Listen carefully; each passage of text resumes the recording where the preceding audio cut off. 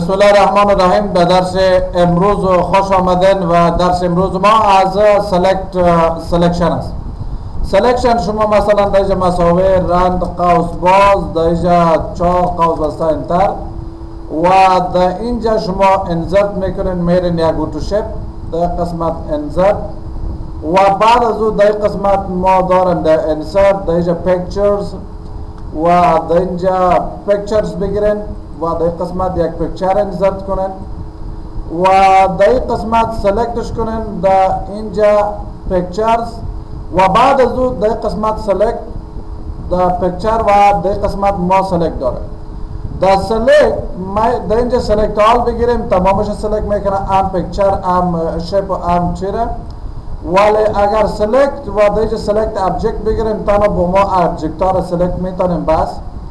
در قسمت تنها ابجکت سلکت می‌تونیم بس اگر ما سلکت ابجکت اوسو کنیم و بعد از در قسمت سلکت تکس سمیلر تو دا فارماتینگ با چی معنی مثلا اینی دوتا ای و اینجا در پایین از این اینی خط دویشون یک یک رقم فرمت داره در قسمت مثلا دوشان یک فرمتینگ داره آل میریم سلکت می‌کنیم سلکت تکس with smell of formatting.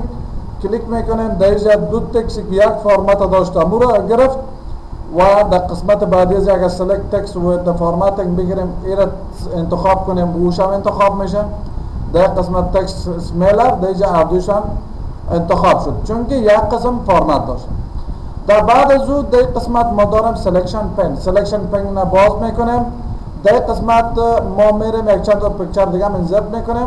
اینجا مثلا select select و در اینجا و در بعد از او ما در اینجا این قدر تعداد picture انداختیم حالا می‌خوایم که picture های ما کلگیش در این چشمک اوسو می‌کنیم یک shape اوسو میشه. و در قسمت چشمک اوسو می‌کنیم یک تصویر ما این چشمک اوسو دیگه تصویر ما گم میشه این چشمک اوسو دیگه تصویر ما گم میشه و این تصویر ما گم میشه تنها ای گم میشه. اگر شو آل بزنیم تمامشان یک بار نمایش داده میشه. اگر های دال بزنیم تمامشان یک بار پنهان میشه. و بعد از دهم دهم میره کلوز می‌کنه میشه. در قسمت ما داریم سلکشن پن. و سلکشن پن هم خلاص شد. سلکت آل ابجکت ازشان اد خواندیم و تشکر از شما که در درس امروز همراهی می‌کردید.